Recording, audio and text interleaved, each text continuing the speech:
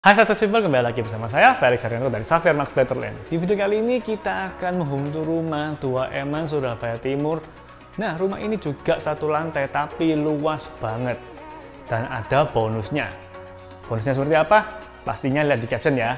Oke guys, sebelum kita lanjut, jangan lupa ya like, comment, share, dan subscribe. And now, let's enjoy the video.